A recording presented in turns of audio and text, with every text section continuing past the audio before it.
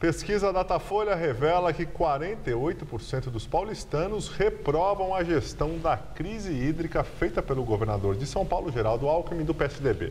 O mesmo levantamento constatou que a maioria dos entrevistados desaprova a reorganização das escolas públicas estaduais. 17 dos últimos 30 dias sem água.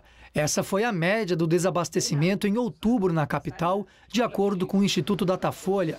Entre os moradores da região oeste, o dado sobe para 20 dias, a média mais alta. A mais baixa foi registrada no centro da cidade, cinco dias com as torneiras secas. O Datafolha também contabilizou o percentual de pessoas que sofreram pelo menos um dia com um racionamento no último mês. O resultado ficou em 49%.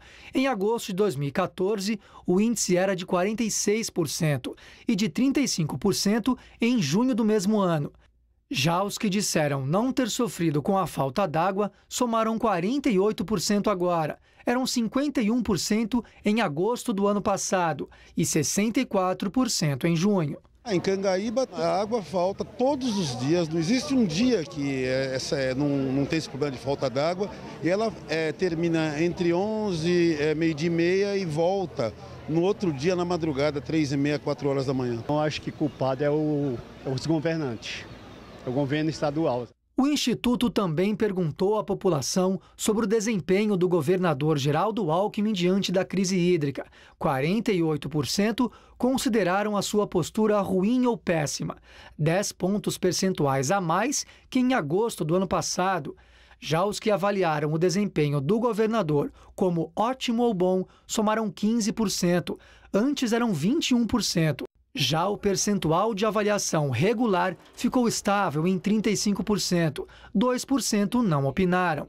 A pesquisa também quis saber a opinião das pessoas sobre o processo de reorganização no ensino de São Paulo. No ano que vem, 94 escolas estaduais vão ser desativadas e entregues para os municípios. Outras 754 passarão a ter apenas um dos três turnos de ensino, básico, fundamental e médio. De cada 10 pessoas ouvidas pelo Datafolha, seis não acreditam que isso vai trazer benefícios para a educação. A maioria é contra a mudança, 59%.